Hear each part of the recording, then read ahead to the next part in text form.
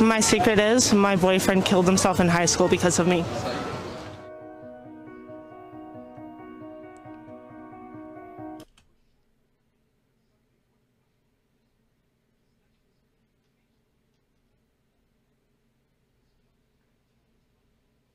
What?